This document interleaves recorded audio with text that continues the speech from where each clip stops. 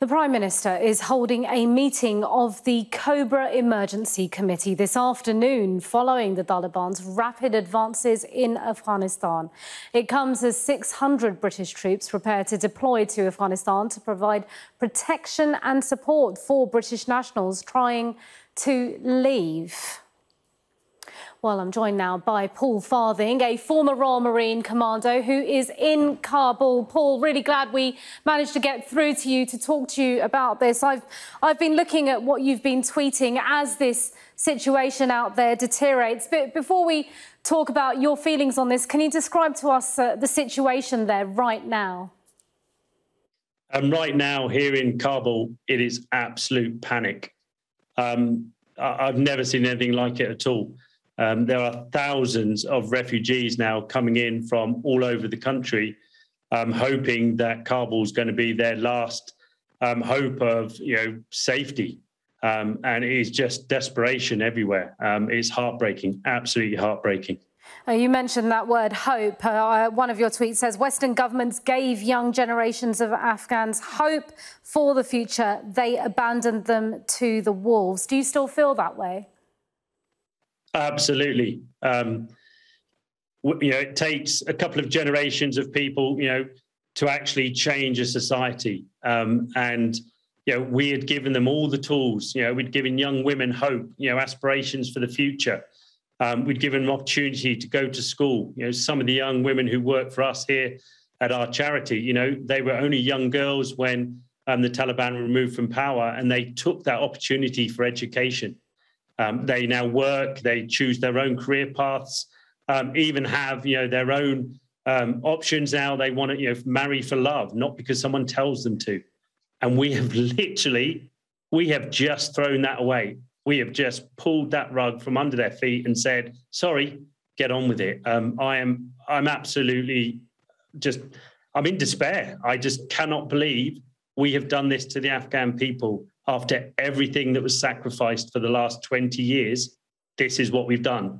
And you, of I'm, course, I'm have uh, Paul witnessed those sacrifices. You're a former Royal Marine. How does it make you feel on a personal level? You've talked about the sacrifices made. 457 British uh, soldiers have, have died, and you know, of course, hundreds of thousands of deaths and injuries in Afghanistan. How do you feel about this? Um, I lost two of my young Marines in Helmand back in 2006. Um, and I truly now want somebody to tell me what was the point. Um, it, it, I, I have no words, absolutely no words to describe um, the hurt, the upset, the confusion. Um, and I've been talking to a few of my colleagues and friends who also served out here in Afghanistan, and they are just absolutely shocked at how the politicians have decided that, yep, we'll just give up on Afghanistan. Um, no, I have no words. We, I'm ashamed, absolutely ashamed to be a part of what has just happened. The Prime Minister is holding an emergency COBRA meeting here this afternoon, um, Paul. I'm not sure if you've heard, we've just broken the story. And uh, they are now sending British troops back to Afghanistan, not to fight, but to get Britons out. Um, will you be amongst those people trying to get back to the UK to safety?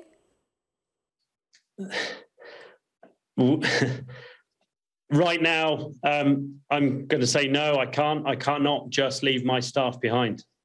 Um, you know, as I said, we've got young women who work for us. You know, what do I say to them? Well, I've got a British passport, and you know, Boris is sending the troops in to get me out. But sorry, you've got to stay.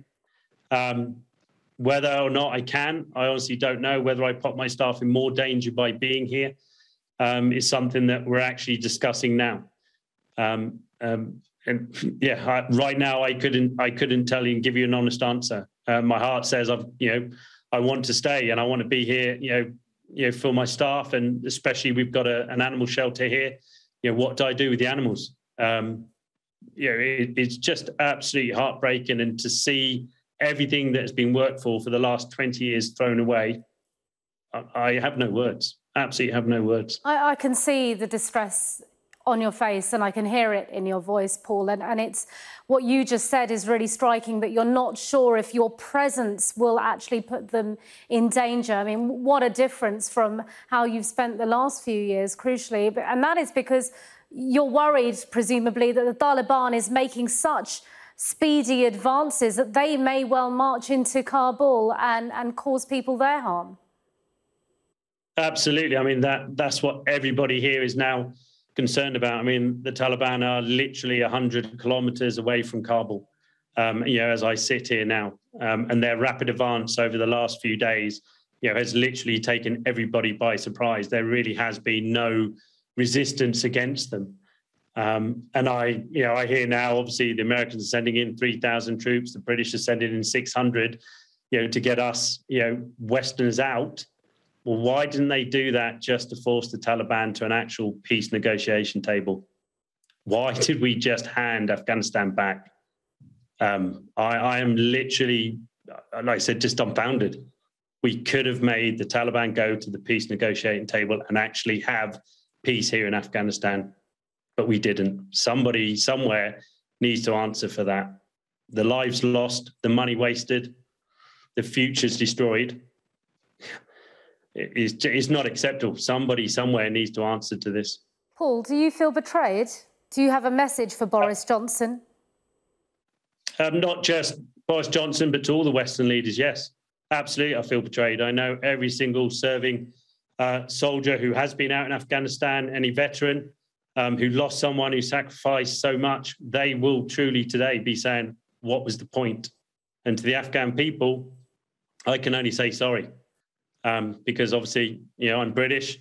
Um, you know, it's my government that's made a decision. So I, I can only say sorry to them because we have left them to the wolves, and that is just unacceptable.